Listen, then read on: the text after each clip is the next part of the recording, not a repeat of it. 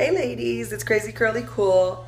I wanted to do a quick update because you have my other video of when I did the LCO method and I went out into the heat and I sweated like crazy, but you don't have a video of me doing the LOC method, going out in the heat, sweating like crazy and coming back home.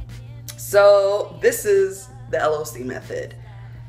Um, we went out, went to the lake today, beautiful lake in Fountain Hills, Arizona. Anyone that lives in Arizona, um, I'm sure you probably have visited the fountain. It was beautiful. It was hot. It was disgusting. It was so hard to get comfortable. My, me and my husband were sitting there, and all we could talk about was our sweat, our sweaty bags. It was so crazy, but the kids had fun but we sweated. I mean, my head got really humid. I could feel like the heat coming out of my head. It was crazy. And when I got in the car, I looked at myself in the mirror and this is what I saw. Um Oh, one of my best friends pointed out that I smack my lips a lot. I'm working on that. Sorry. Anyway, um so this hair was bleached uh, about almost now it was it was a while ago, maybe almost a year ago. But this hair was bleached as well. The darker hair, I had actually taken half of my head and bleached it. And so um, I don't like to think that bleach is the issue here because look at this hair. Look at this. Like, it's shiny. And then look at this hair under here that was bleached also almost a year ago. It's shiny. And then you have this dry hair. I I think it's really just the color. I know that I I've seen other vloggers that have um had they had colored hair and then they went back dark and their hair looked healthy all of a sudden when before it really looked damaged. I think that's my issue here, but I don't know if I'm willing to change my hair color. I love my colorful hair.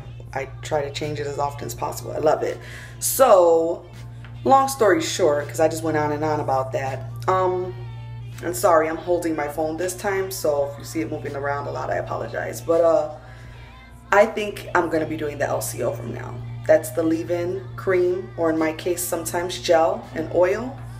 I, now that I have the comparison, I can actually look at the two and see the difference. I really, really believe that the LCO method's for me and I need to leave the LOC method behind. When I was living in Chicago two and a half months ago, the LOC method was amazing, but I'm in this crazy, there's no humidity here you know, and it's just this dry heat and I see my hair being impacted. So I think I'm gonna stick with the LCO method. I just wanted to fill you guys in on that. So just in case anyone's following my videos, you know that um, I actually decided to stick with that new method and leave my old method behind. So I hope this helps somebody. If you have any questions, feel free to, you know, leave a comment below or I know a lot of the people that have subscribed to my channel are on the Waves, Curls, and Kinks page. I love you guys so much. You guys are amazing. Anytime, tag me in anything and ask me any questions. And you know, I'm honest. So if I realized I did the wrong thing and made the wrong decision, I'll be honest and say, okay, I'm going back because that wasn't for me. You know, I'm I'm transparent. So if you have any questions, feel free to reach out to me. Thank you so much for joining me again, and good night from Arizona.